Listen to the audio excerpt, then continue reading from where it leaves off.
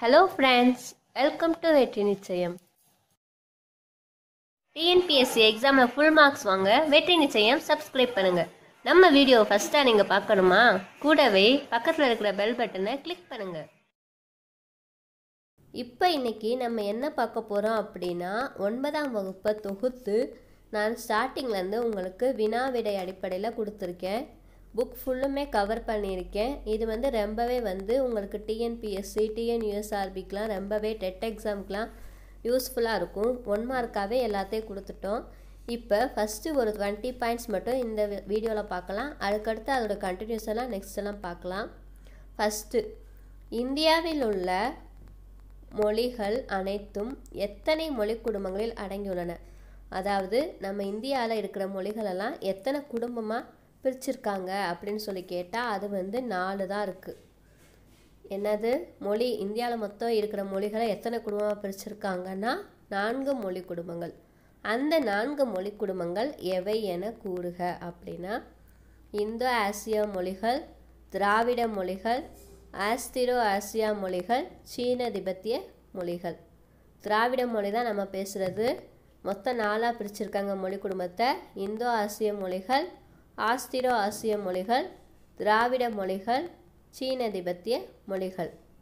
நம் நாட்டில் பேசப்படும் மொழிகள் மொத்தம் எத்தனை அப்படின்னு சொல்லி கேட்டிருக்காங்க. நம் நாட்டில் மொத்தம் எத்தனை மொழிகள் பேசுகிறாங்க அப்படின்னா ஆயிரத்தி முந்நூறுக்கும் மேற்பட்ட மொழிகளும் அதோட கிளை மொழிகளும் இருக்குதான்.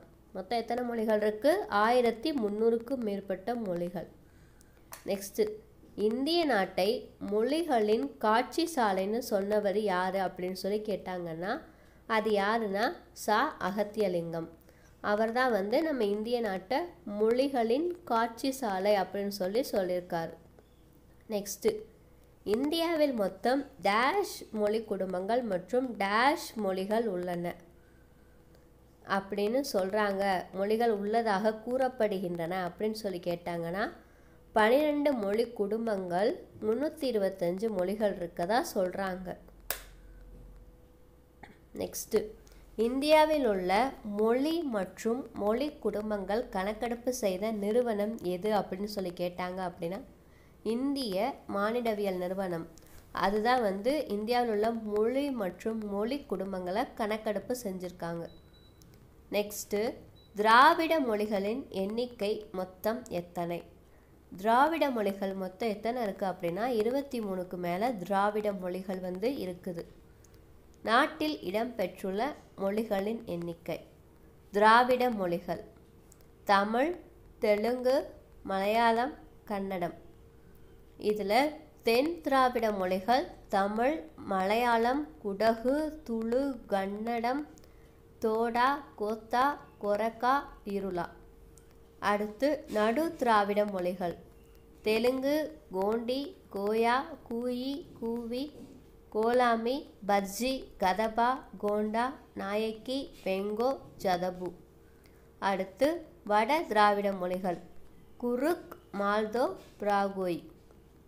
அடுத்து உலக நாடுகளின் தாய் என்று அழைக்கப்படும் நாகரிகம் எது அப்படின்னு சொல்லி கேட்டிருக்காங்க. அது வந்து நம்ம இந்திய நாகரிகம்தான். உலக நாடுகளின் தாய் என்று அழைக்கப்படுற நாகரிகம். இது வந்து கிமு மூவாயிரம் ஆண்டுக்கு முற்பட்டது. அடுத்து திராவிடம் அப்படின்னா அதோட பொருள் என்ன அப்படின்னா திராவிட நாடு அப்படிங்கிறத தான் திராவிடம் அப்படின்னு சொல்லி சொல்கிறாங்க திராவிடம் என்பது ஒரு பெயரடை அப்படின்னு சொல்லியவர் யார் அப்படின்னா அது யாருன்னா ஹால்டுவேல். ஹால்டுவெல் எந்த சொற்றொடர்களில் திராவிடம் என்னும் சொல் பெயரடையாக வந்ததாக கூறுறாரு அப்படின்னு சொல்லி கேட்டிருக்காங்க. திராவிட மொழிகள் திராவிட இனம் திராவிட நாகரிகம். இதெல்லாம் வச்சு தான் வந்து அவர் பெயரடைன்னு சொல்லி நம்ம திராவிட மொழியை சொல்கிறாரு அடுத்து தமிழியன் அல்லது தமிழிக் என்று அழைக்கப்படும் மொழிகள் எது அப்படின்னு சொல்லி கேட்டிருக்காங்க.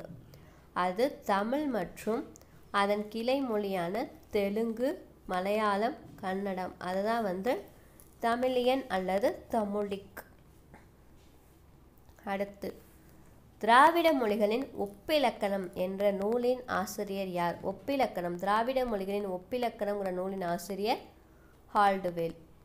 அடுத்து திராவிடம் என்னும் சொல்லை முதன் முதலில் உருவாக்கியவர் யார் அப்படின்னு சொல்லி கேட்டாங்கன்னா அது குமாரி லபட்டர். அவர் தான் வந்து திராவிடம்ங்கிற சொல்லை ஃபஸ்ட்டு ஃபஸ்ட்டு உருவாக்கியவர்.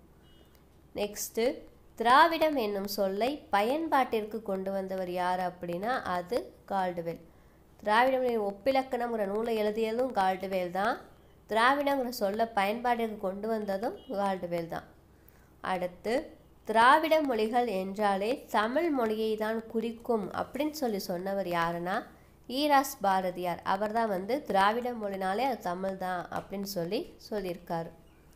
திராவிட பெருமொழிகள் என கூறப்படும் மொழிகள் எது? அதாவது திராவிட மொழிகளில் பெரிய மொழிகள் பெருமொழிகள் அப்படின்னு சொல்லி கூறப்படுற நூல் எது? மொழிகள் எது அப்படின்னா தமிழ் தெலுங்கு மலையாளம் கன்னடம். அடுத்து திராவிட பெரும் மொழிகளின் பட்டியலில் எந்த மொழி மட்டும் நடு திராவிட மொழியை சேர்ந்தது? அதாவது பெருமொழிகள் என்னென்னு பார்த்தோம். தமிழ் தெலுங்கு மலையாளம் கன்னடம் சொல்லி பார்த்தோம். இந்த நாளில் எந்த மொழி மட்டும் நடு திராவிட மொழியை சேர்ந்தது அப்படின்னு சொல்லி கேட்டாங்க அப்படின்னா அது தெலுங்கு. தெலுங்கு மட்டும் இந்த நாளில் நடு திராவிட மொழியை சேர்ந்தது.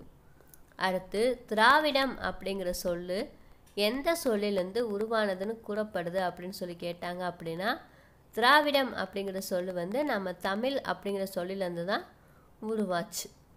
இவ்வளோ தான் first bye first part of video இவ்வளோ தான் இதை ஒன்றுக்கு ரெண்டு டைம் நீங்கள் படிச்சிங்க அப்படின்னா ஈஸியாக ஞாபகம் ஆயிரும் அடுத்த வீடியோவில் இதோட கண்டினியூஷன் பார்க்கலாம். தேங்க்யூ டிஎன்பிஎஸ்சி எக்ஸாமில் ஃபுல் மார்க்ஸ் வாங்க. வெற்றி நிச்சயம் பாருங்கள் தேங்க்ஸ் ஃபார் வாட்சிங்